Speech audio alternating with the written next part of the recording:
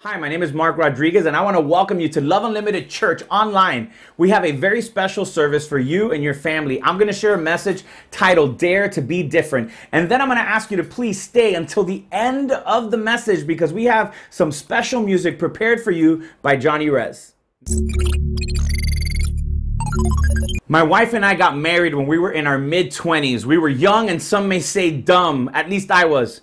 A few years after we were married, one of our high school friends got married at a hotel in South Beach. So we were so excited for this wedding, not just because our friends were getting married, but we hadn't seen some of our high school friends for years.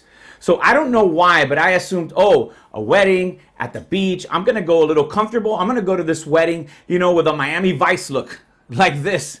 And this was a horrible mistake, and I'll tell you why. We missed something at the bottom of the invitation in small print that said black tie. So all the guys in the wedding are wearing tuxedos, and I'm dressed like Sonny Crockett. I felt so dumb. You know that feeling you get when everyone is talking about you and everyone is looking at you? Well, multiply that by a hundred. Everyone was talking about me. I felt terrible. See, we've all had moments like that. We've all felt out of place, talked about at times. We've felt like the butt of a joke. It's embarrassing, it's discouraging, and it hurts. And today we're going to look at the life of a guy who wrote the book about sticking out like a sore thumb as we continue in our study through Hebrews chapter 11. And here's what Hebrews chapter 11, starting in verse 7, says By faith, Noah, when warned about things not yet seen, in holy fear, built an ark to save his family. And by faith, he condemned the world and became the heir of righteousness that comes by faith. The question I have for you today is why did God choose Noah? Imagine if you were God, what kind of person would you choose to start the human race all over again? Who would you choose if you were God? If God were to make the decision again to destroy the world and start over, would God choose you? That makes me uneasy. You know why God chose Noah? The Bible says this in Second Chronicles 16 9. The eyes of the Lord run to and fro throughout the whole earth, that he may show himself strong in behalf of those whose hearts is perfect towards him. God looks at your heart. See, today we're going to talk about the four characteristics of what type of person God uses. The story of Noah is in Genesis, the very first book of the Bible, Genesis chapter 6, 7, 8, and 9. And here's where we learn the four characteristics of the type of person that God uses, the type of person that God chooses to do great things. The first characteristic, we're going to find it in Genesis chapter 6, verses 5 through 8. And here's what it says The Lord saw how great man's wickedness on the earth had become, and that every inclination of the thoughts of his heart was only evil all the time. And the Lord was grieved that he had made man on earth, and his heart was filled with pain. So the Lord said, I'll wipe out all mankind whom I've created from the face of the earth, man and animals, creatures that move along the ground, and birds in the air, for I am grieved that I have made them. But Noah found favor in the eyes of the Lord. God looked down and he found one man that he was going to use. And as he looked down at the life of Noah, a man that was overlooked by people, we learn why God used him and how God can use us to accomplish great things. The first step that we need to take to be used by God is this. It's super simple. It's I must be available. That's pretty obvious. He was available. The fact is, here's the entire population, but God can only find one available person. In God's eyes, availability is much more important than ability. Your attitude is much more important than your ability. Most of us use our ability as an excuse. Oh, I, I can't do that. God could never use me. I can't do anything anything. We just need to be available. See, one of the most amazing testimonies in our ministry was when we reached out to Slam, the school where our church meets, five months before we had our first service. And we asked them if we could bless some of the families for Thanksgiving. And so my wife and I and a few friends got about a thousand dollars together and we said, hey, let's pick 10 families at the school that we can give a hundred dollar Thanksgiving meal to. And when we finally got our appointment with the school administrators and we asked them, hey, are they families in need at the school? Do you think you could help us find 10 families that we can bless? They followed up and said, absolutely. We actually have a hundred homeless kids that come to this school. And I asked the lady, I'm like, do you know what their names are? And she responded, I have them right here on my clipboard. And I said, well, you know what? Reach out to all the families and let them know that they will have food for Thanksgiving. As soon as I said that statement, my stomach turned. I started sweating. I thought to myself, we haven't even had our first service. We haven't passed the buckets for the first offering. We don't have money in the bank. How are we going to feed a hundred families? About 20 minutes later, I'm driving in my car, and one of my friends reaches out to me, hadn't called me in a while to see how I was doing. And he's like, hey, how are things going with the new church? And I start talking to him and I tell him, oh, we got this great opportunity to feed 100 families. And he's like, how are you going to do that? I'm like, I don't know. He's like, do you have the money? I'm like, I don't, but God is going to provide. He said, you know what? Don't worry. I'm going to take care of all of it. At that moment, I just started to cry because God showed up, not because I was able, not because I was gifted, but because He is able. And it wasn't my ability, it was my availability that allowed myself and our ministry to be used by God, and God can do the same thing for you. You're probably saying, How come God doesn't do that with me? How come I don't have those exciting experiences? Why doesn't God use me like that? See, if you will just be available and stop focusing on what you can't do, God will use you in ways you never thought possible. See, God is not looking for superstars. He's not looking just for the super talented. God prefers ordinary people with faults and hangups and fears. They're not necessarily brilliant. They don't usually stick out of the crowd. They're just available. And Noah was available. God is looking for people who say, Use me, Lord. Would you do that? You see, look at the disciples. They were a bunch of losers. They were even poor fishermen. Every time Jesus goes to see the disciples, they're mending their nets. They couldn't even keep their nets in good shape.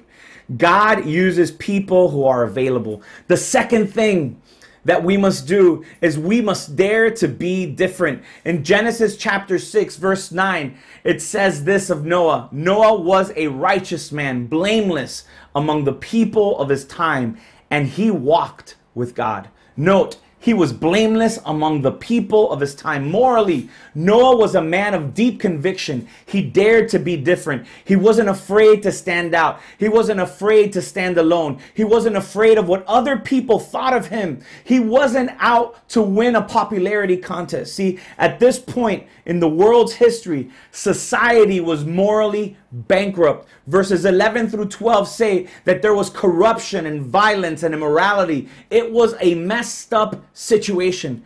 But none of this influenced Noah. He was not afraid to stand alone. Remember when we were teenagers and we would tell our parents, but mom, but dad, everyone is doing it. And now we're older and we still think the same way. Guys, we need to forget if everyone's doing it, we must be okay.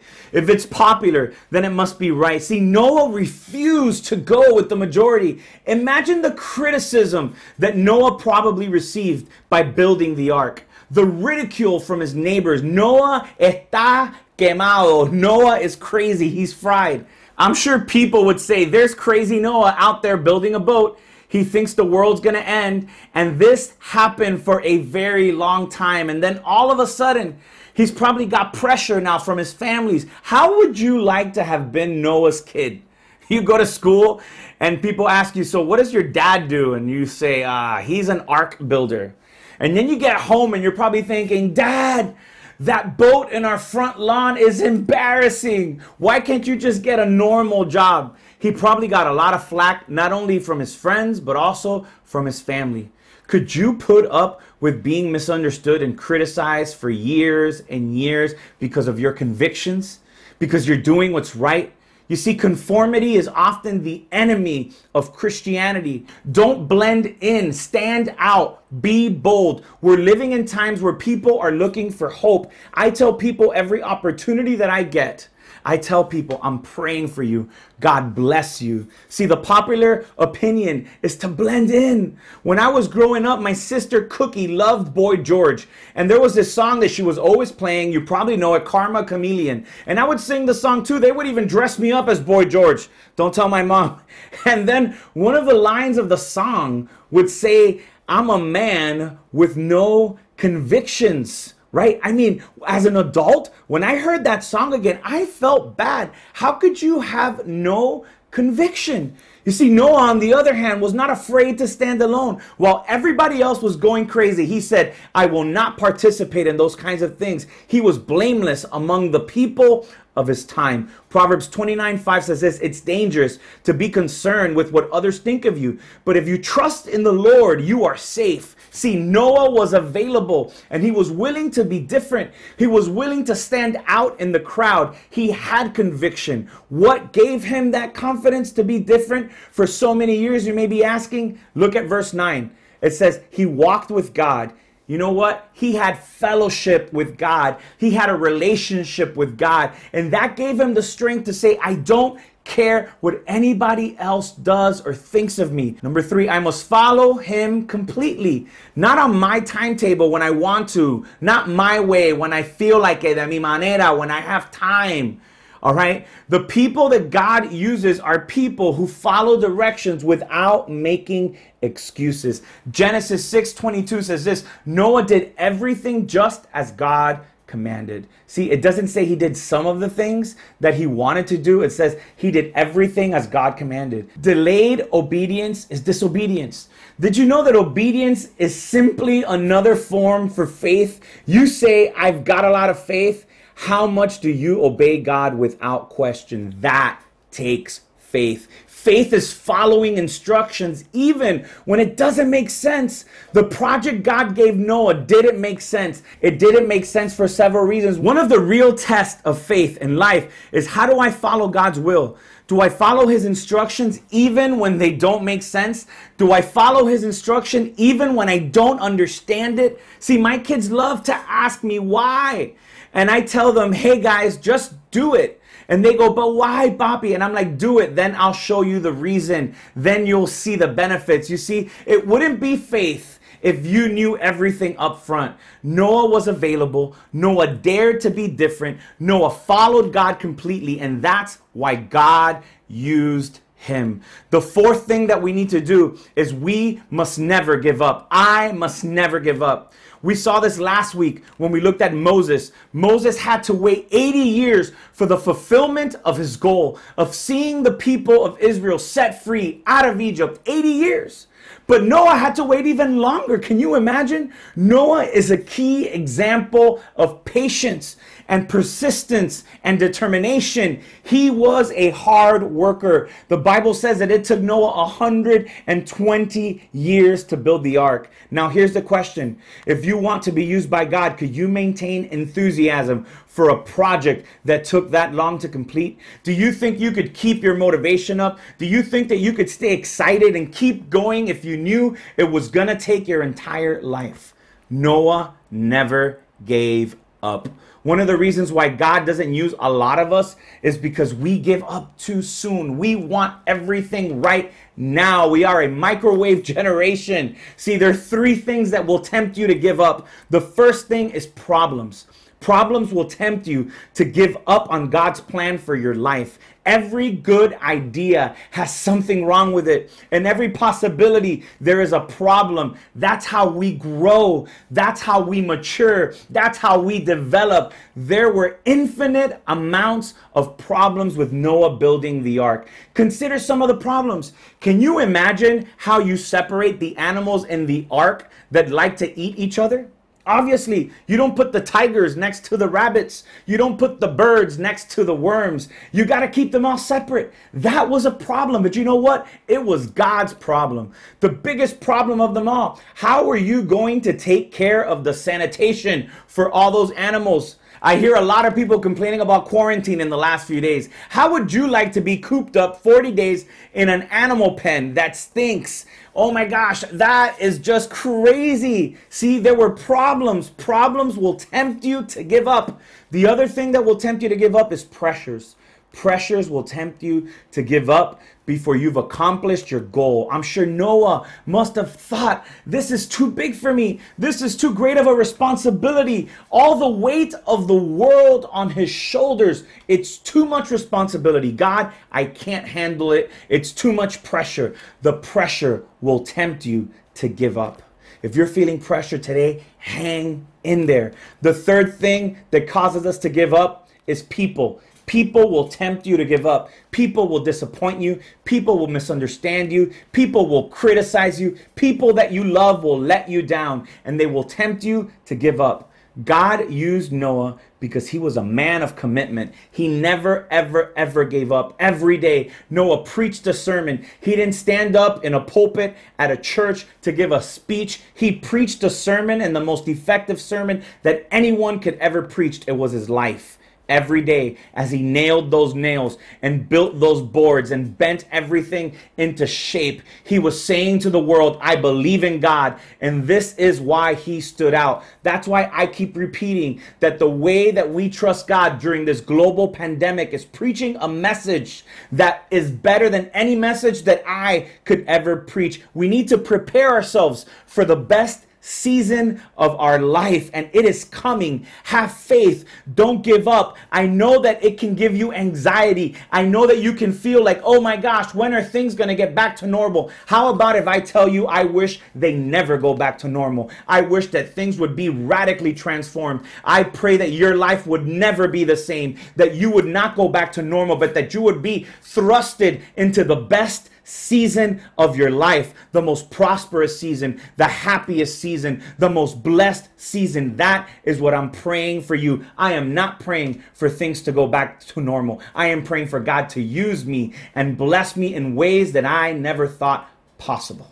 God wants to use you to do great things in your life. I know it's hard to believe for some of you, but God will use you if you will get usable. Can I ask you a question? Would you like to be used by God? See, that's where you find fulfillment in life. That's where you find satisfaction. That's where you find your niche, the niche you were created for. You don't find it in these other things. You don't find it by being popular. You find it by finding the purpose of God and asking God to be the center of your life. You're probably saying, Pastor, how can God use me? You know what? The first thing you need to do is say, Lord, I'm available. That means you rearrange your schedule. That means you drop some things out of your schedule. One of my biggest fears is that we will all fall back to our old ways. So many of you connecting with Love Unlimited online, and we're definitely going to increase our online presence after COVID. But can I ask you a serious question? How many things have you put in the way of going to church physically? Take some time once a week and connect with God and other Christians. Serve God. Attend outreaches. We make ourselves available for every single shower, party, pachanga. You know, it doesn't matter how many miles it is from our house. It doesn't matter how much we need to spend on gifts and outfits. We get our nails done. We get our hair done. We go to the barber and get lined up. But you know what? We can't wake the kids up early to go to church. See, don't limit what God wants to do in you and through you and through your family. The second thing is dare to be different. You say, Lord, I'm willing to follow you no matter what. You dare to be different. You dare to have convictions. The third thing is you commit yourself to God's plan, to follow it, even when you don't understand it. You say, Lord, I am willing to follow you completely. I don't understand all of these principles, but I want to follow you the best that I know how. And the fourth thing, we just covered it, you never give up. You make a commitment that you're willing to hang in there even when there's a delay. One of the tests of faith is how long can you wait? See, there's an addendum to Noah's life, though. In Genesis chapter 9, I hate that this is even in the Bible. I wish it wasn't in there because it puts a downer on the whole story. The Bible says that there was this man who lived blameless all his life, the only godly man in the world that had faith, persistence. He was available. He was all these amazing things that God said about him. He builds the ark, and after the flood, when the land dried out, it says that he built a vineyard and fermented the grapes, and he got drunk, and he took off all his clothes, and he made a fool of himself. He got drunk and he got naked. Why? He had a spotless record, and at the end of his life, he blew it. Why? See, the thing about the Bible is that it never glosses over those kinds of things. One of the reasons why I believe that it is a supernatural book, not simply written by man, is because if it were written by man. They would have left those things out. But the Bible, the Bible tells us the truth even when it hurts. The Bible says that while Moses was a great man and led the children of Israel out of Egypt, he was also a murderer. He murdered a man. And the Bible says that David, who wrote the Psalms, also committed adultery. It lays it all out on the line. It's right up front. It says, This guy, Noah, blew it. Noah, who lived perfect when everybody else was blowing it, he blows it at the end. And that's kind of a downer. But on the other hand, I think that it is encouragement for people like me that blow it all the time. See, it goes back to the heart of the whole series that God uses ordinary people. If Noah had never had anything wrong in his life, you know what we say? He was too perfect. I could never be like Noah. The fact is, Noah wasn't perfect. He was human. He messed up. He had a problem. He made a fool of himself. He sounds a lot like, you know who? Me and you. But in spite of that, God still put him in the hall of fame in Hebrews 11. That's the kind of God that I can worship. That's the kind of God that although he is perfect, he doesn't compromise for sin, he is compassionate, he is forgiving, and he says, I can start things over. I can start things over in your life. He wants to change your life. He doesn't care about your mistakes. He doesn't care about how many times you've messed up. He doesn't care how many times you've fallen on your face. See, your failure is not that you fell. Your failure is if you refuse to get up. Maybe you've had a divorce. Maybe you had a moral problem. Maybe you had a bad habit that you still can't kick. Maybe you've had some fears and some insecurities in your life. Maybe you've got a temper problem. Maybe you have a problem with jealousy. Maybe you feel inferior and you don't like the way you look, I don't care what your hangup is. God doesn't care what your hangup is. Everyone has at least one. But that doesn't disqualify you from being used by God. If God only used perfect people, who would get used? No one. God uses ordinary people. God uses people that most of us would overlook. Can I tell you something? You are known by God, and God loves you. The key to Noah's life was this, and we read it today Noah walked with God. That means he had a relationship with God. That means he had fellowship with God. And today, I want to give you an opportunity to have fellowship with God. Maybe you've never given your life to Jesus. I'm going to lead you in a prayer right now that's going to draw you closer to God. The Bible says if you believe in your heart and confess with your mouth that Jesus is Lord, you will be saved. And saved from what? Saved from eternal damnation, but also saved on this earth. That means that your life is going to be better, that you're going to be blessed, and you're going to be protected protected by God. And so, would you pray with me? Would you pray out loud? I'm going to ask everyone in the house that you're in and the place that you're in to pray out loud with me. Close your eyes and pray. Dear God, I come to you today and I say I'm sorry. I'm sorry for the mistakes that I've made, for the sins that I've committed. I give you my life. I give you everything. Be my God. Be my Savior. In Jesus' name, amen. Hey, if you prayed that prayer, I want to help you in this new journey that you're on. And here's what I'm going to ask you to do text the word amen to 786 541 1020. Text the word amen to 786 541 1020 and you're to get some information on how to draw closer to God from me. And now I want to ask you guys to support the ministry of Love Unlimited. Help us to continue to reach people through our online platforms and also help us position ourselves to be a blessing in the city of Miami and beyond, and to also prepare ourselves to relaunch the church when we are allowed to start our public services again. And if you want to support us, all you need to do is go to loveunlimited.com forward slash give, or you can use Cash App. And all you need to do is type in the dollar sign L O V E U N L T D. Thank you so much for supporting our ministry. And now I want to invite you to worship with Johnny Rez.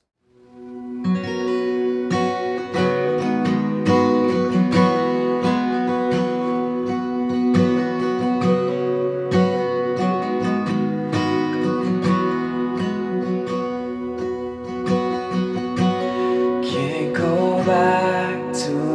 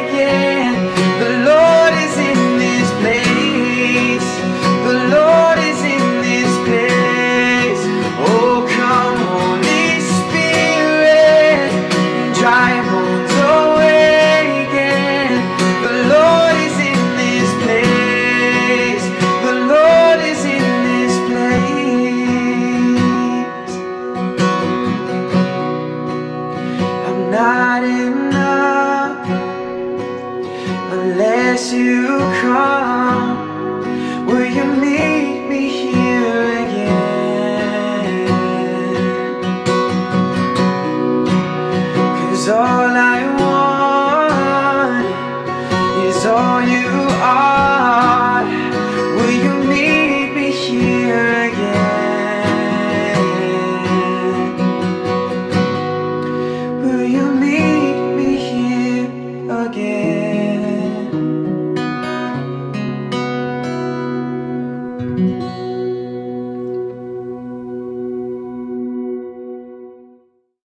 hope you enjoyed that song. I hope it was a blessing for your life the same way that it was for mine. And now I'm going to ask you to do a few things to subscribe to our YouTube channel, to like this video, to share this video, and also leave a comment below. See you next Sunday.